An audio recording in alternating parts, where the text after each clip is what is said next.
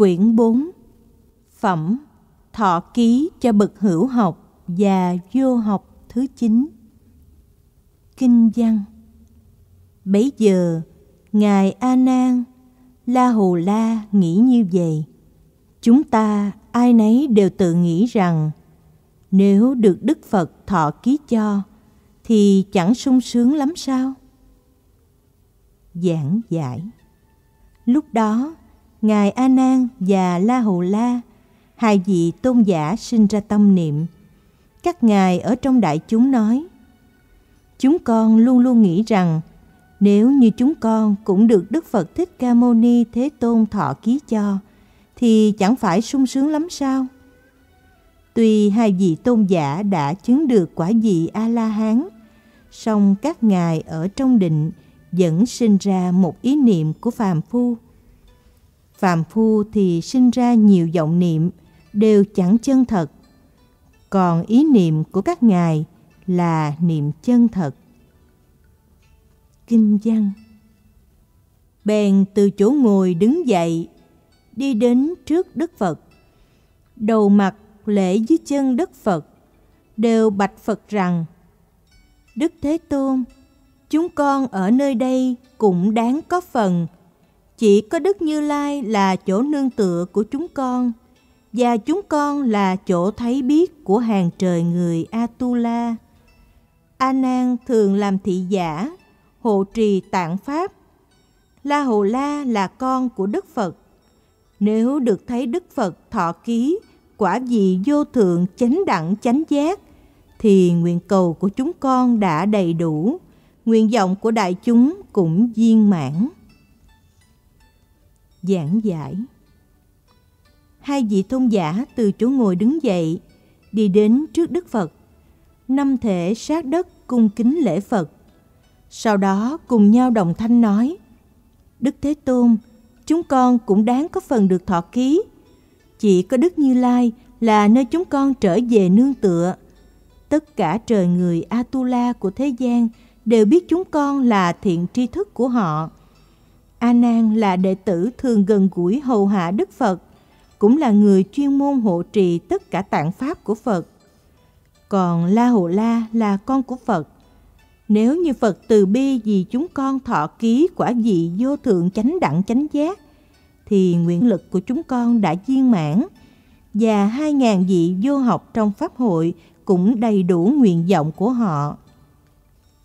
Kinh văn Bấy giờ, hai ngàn vị đệ tử thanh văn hữu học và vô học đều từ chỗ ngồi đứng dậy, hở áo bên vai phải, đến trước Đức Phật, một lòng chắp tay chiêm ngưỡng Đức Thế Tôn, cũng như chỗ nguyện cầu của A Nan và La Hầu La, rồi đứng qua một bên.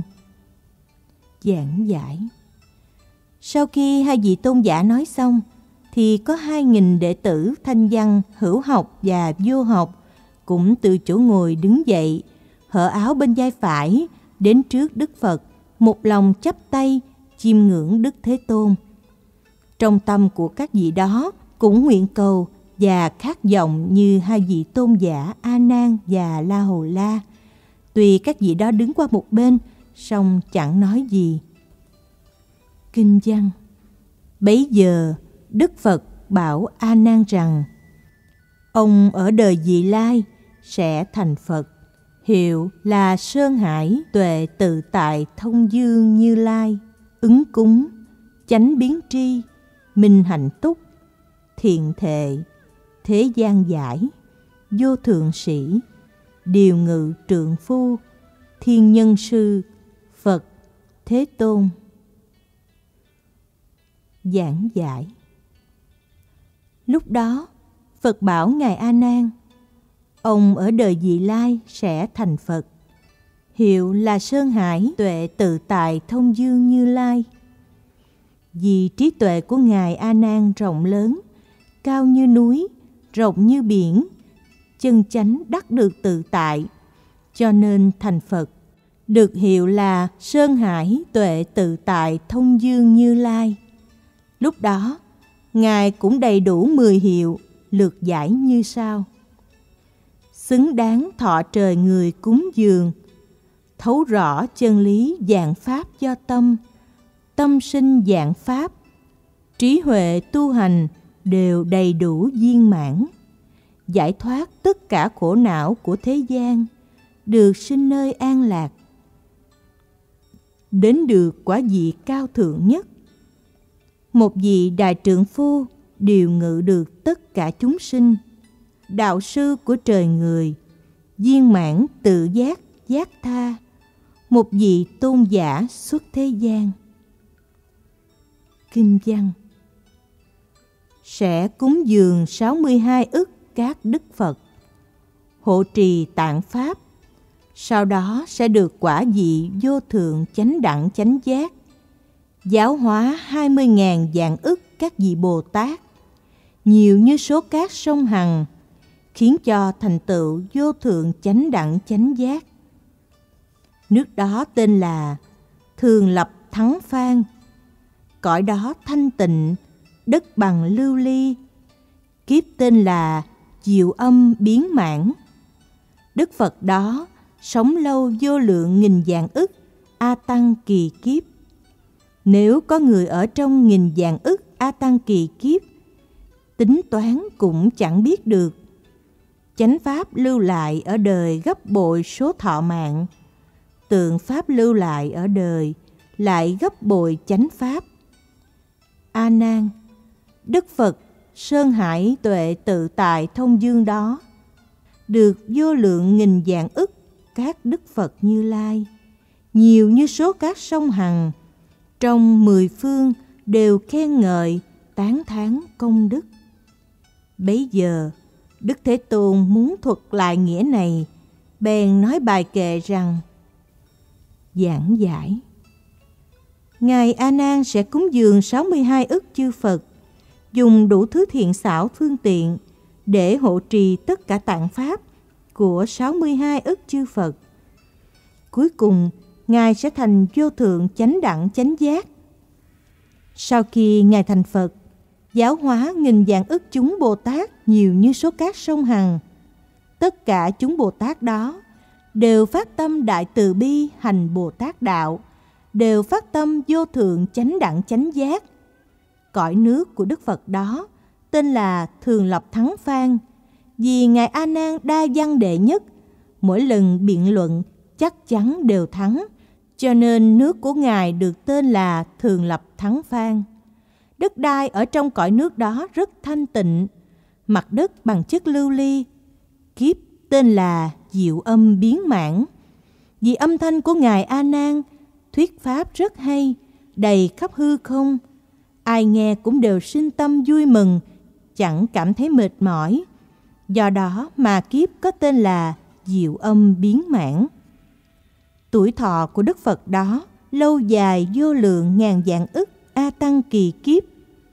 Nếu ai ở trong nghìn dạng ức vô lượng số kiếp A Tăng kỳ để tính đếm thời gian thọ mạng của Đức Phật đó cũng không thể biết được số lượng. Chánh Pháp lưu lại ở đời tăng gấp bội so với tuổi thọ của Đức Phật đó. Tượng Pháp lưu lại ở đời hơn gấp bội so với chánh Pháp. A Nan, Đức Phật Sơn Hải tuệ tự tại thông dương, tức là danh hiệu Phật của ông sẽ thành ở vị lai. Ông sẽ được vô lượng nghìn dạng ức các đức Phật như Lai, nhiều như số cát sông Hằng trong mười phương, đều tán thán khen ngợi công đức viên mãn của ông. Lúc bấy giờ, Đức Thế Tôn muốn thuật lại những gì vừa nói trường hàng ở trên, bèn nói ra bài kệ rằng Kinh văn Nay ta trong tăng nói, A Nan người trì pháp, sẽ cúng dường chư Phật, sao sẽ thành chánh giác, hiệu là Phật Sơn Hải, tuệ tự tại thông dương. Cõi nước đó thanh tịnh, tên thường lập thắng phan. Giáo hóa các Bồ Tát nhiều như các sông Hằng. Phật có oai đức lớn, danh đồn khắp mười phương. Sống lâu vô số kiếp, thương xót độ chúng sinh. Chánh pháp bồi tuổi thọ tượng pháp bồi chánh pháp. Vô số các chúng sinh nhiều như các sông hằng ở trong phật pháp đó trồng nhân duyên phật đạo. Giảng giải. Hôm nay đức phật đối trước hàng tỳ kheo, nói nhân duyên thọ ký của ngài a nan. Ngài a nan nhiều đời hộ trì tất cả tạng pháp của chư phật. Ngài thường suốt đời cung kính cúng dường tất cả chư phật. Về sau, trong tương lai cũng sẽ thành phật, hiệu là sơn hải tuệ tự tại thông dương phật.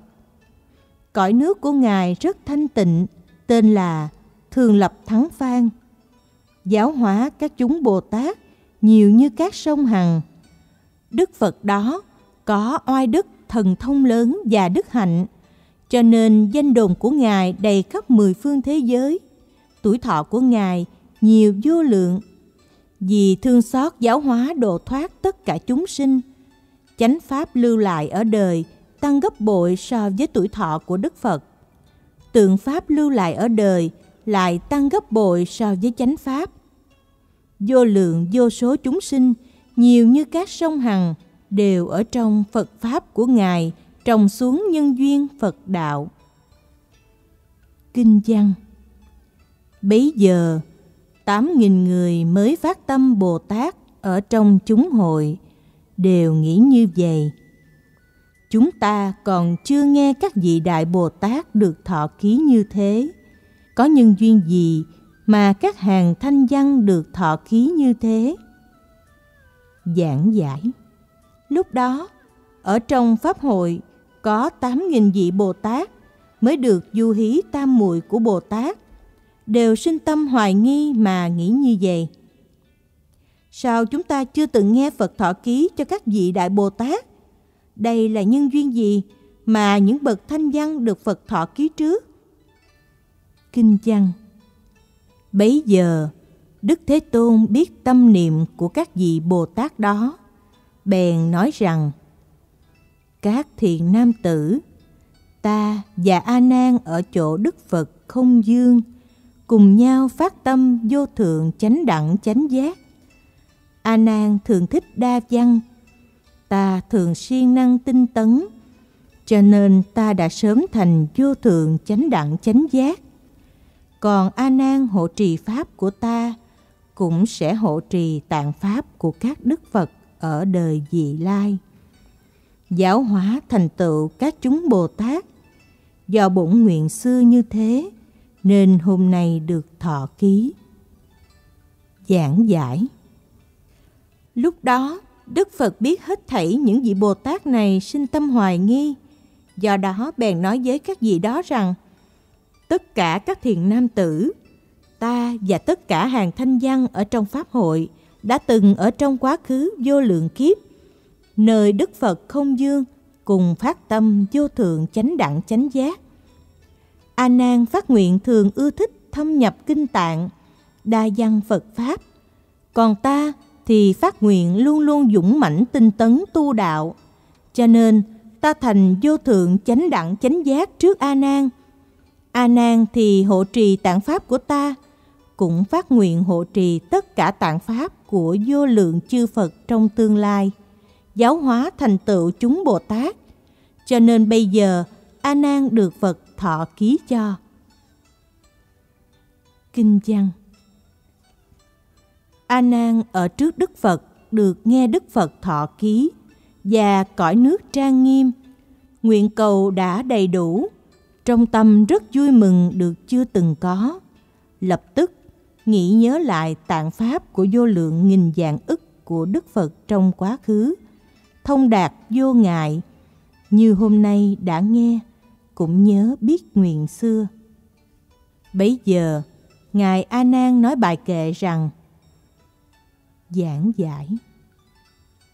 Lúc đó, ngài a nan ở trước đức phật đích thân nghe được phật thọ ký cho ngài và biết được cõi nước trang nghiêm dị lai của ngài tâm nguyện của ngài đã đầy đủ viên mãn, cho nên tâm sinh vui mừng hớn hở, được chưa từng có lúc đó, ngài lập tức nhớ lại tất cả tạng pháp của vô lượng ngàn dạng ức các đức Phật trong quá khứ và đều thông đạt vô ngại. Tất cả pháp đó và pháp của Phật Thích Ca Mâu Ni đều giống nhau. Ngài cũng nhớ lại thệ nguyện xưa của Ngài đã phát ra. Do đó, Ngài A Nan dùng kệ nói rằng: Kinh văn Thế Tôn rất hy hữu, khiến con nhớ quá khứ, vô lượng các Phật Pháp, như Pháp nay đã nghe, nay con chẳng còn nghi, an trụ nơi Phật đạo, phương tiện làm thị giả, hộ trì các Phật Pháp. Giảng giải Phật là bậc hy hữu nhất trong thế gian, khiến cho con nhớ lại tất cả tạng Pháp của vô lượng các Đức Phật trong quá khứ. Tất cả Pháp đó giống như Pháp mà đời nay con đã nghe. Cho nên bây giờ con chẳng còn sinh tâm hoài nghi nữa. Con nguyện an trụ nơi Phật đạo, dùng đủ thứ thiện xảo pháp môn để làm thị giả cho Đức Phật, thường ủng hộ thọ trì tất cả tạng Pháp của các Đức Phật.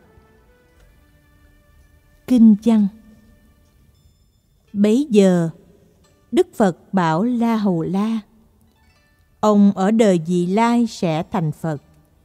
Hiệu là Đạo Thất Bảo Hoa Như Lai, ứng cúng, chánh biến tri, minh hạnh túc, thiện thệ thế gian giải, vô thượng sĩ, điều ngự trượng phu, thiên nhân sư, Phật Thế Tôn. Giảng giải.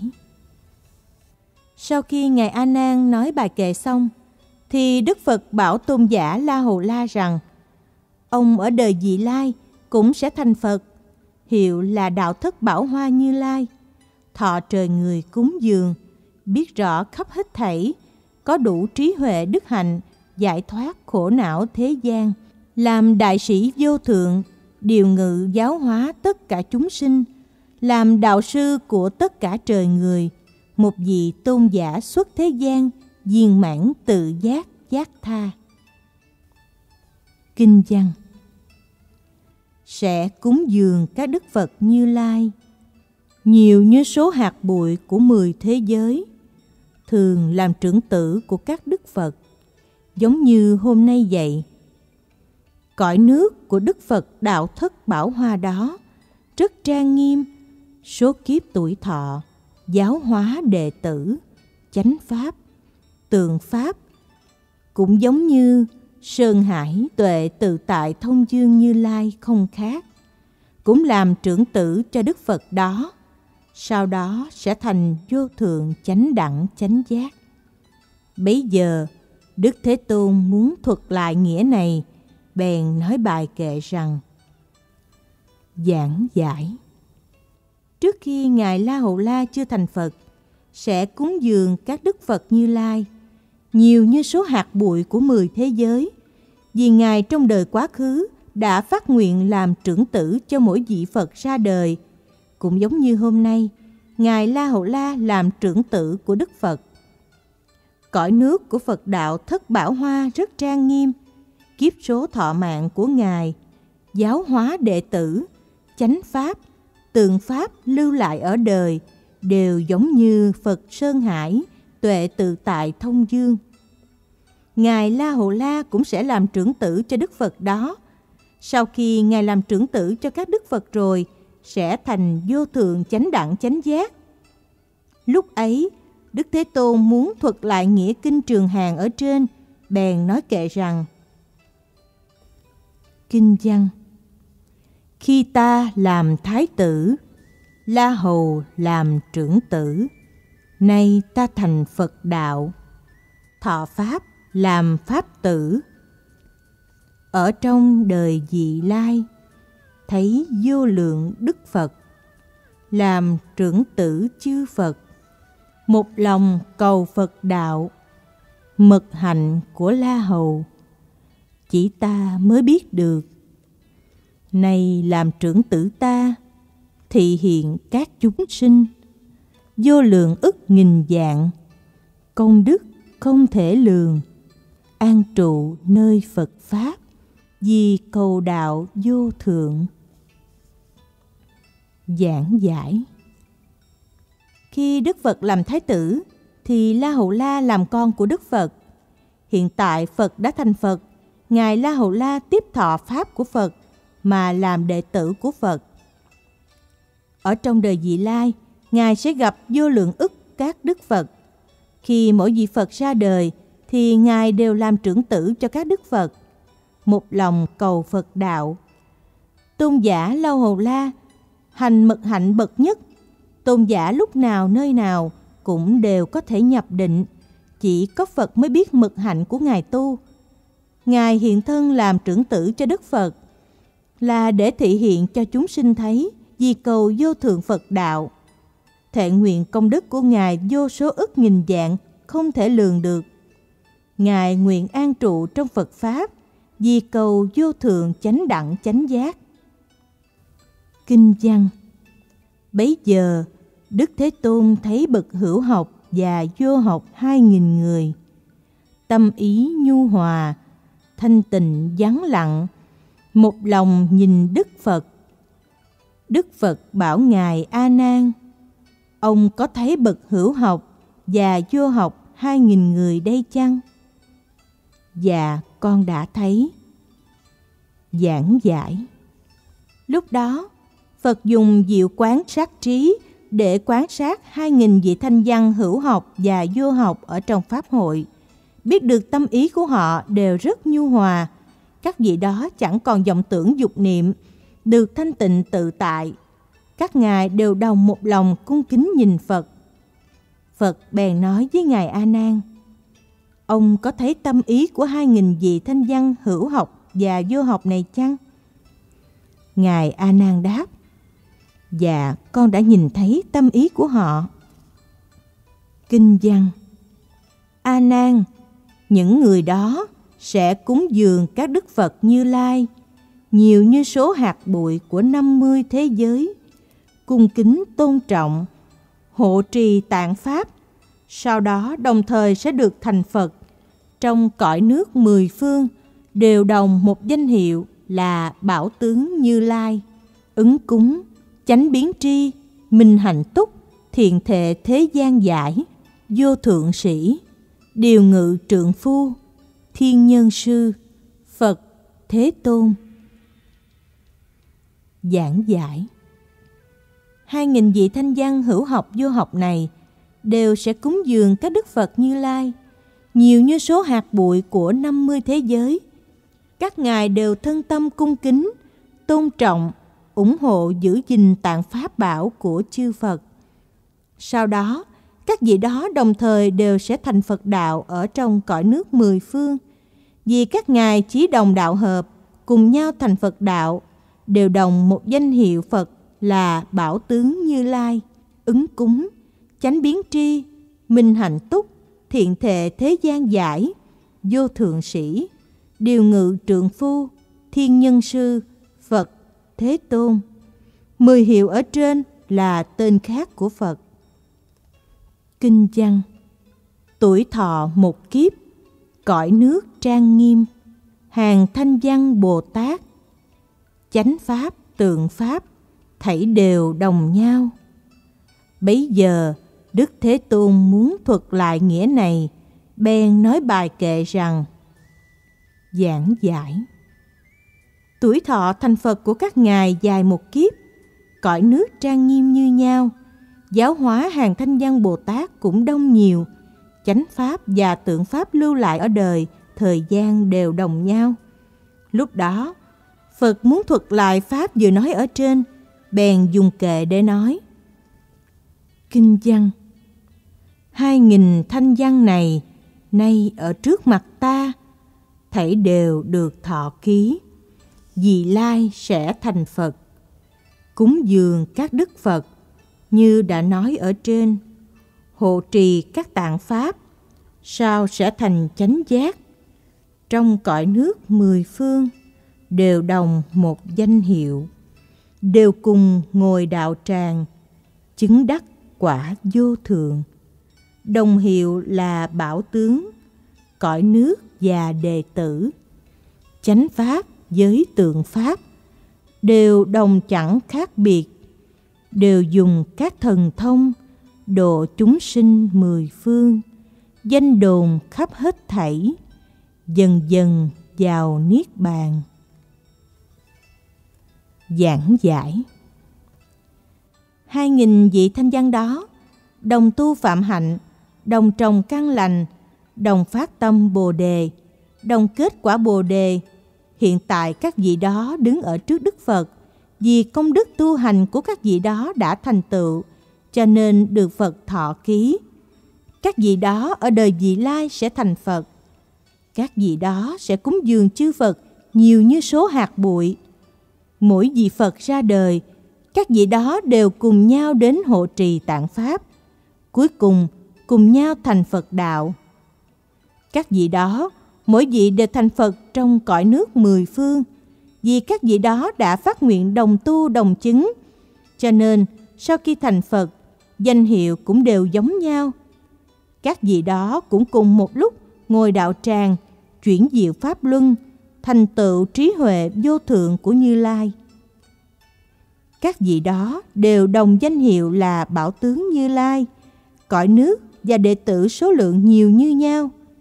Chánh Pháp và tượng Pháp lưu lại ở đời cũng lâu dài như nhau, chẳng có gì khác nhau. Các vị đó đều cùng nhau dùng thần thông để độ tất cả chúng sinh trong mười phương. Danh đồn của các vị đó khắp cõi nước mười phương dần dần vào cảnh giới niết bàn thường lạc ngã tịnh. Kinh văn Bấy giờ, bậc hữu học và vô học hai nghìn người. Nghe Đức Phật thọ ký đều vui mừng hớn hở, bèn nói bài kệ rằng Thế Tôn đèn huệ sáng, chúng con nghe thọ ký, tâm vui mừng tràn đầy, như được rưới cam lồ. Giảng giải. Lúc đó, hai nghìn vị thanh văn, hữu học và vô học, nghe tiếng Phật thọ ký rồi, trong tâm rất vui mừng hớn hở mà nói ra bài kệ. Trí huệ quang minh của Phật như đèn sáng chiếu khắp. Hai nghìn vị thanh văn hữu học vô học đều đã nghe Phật thọ ký rồi, tâm đều tràn đầy vui mừng, giống như được nước Pháp cam lồ rưới lên đầu.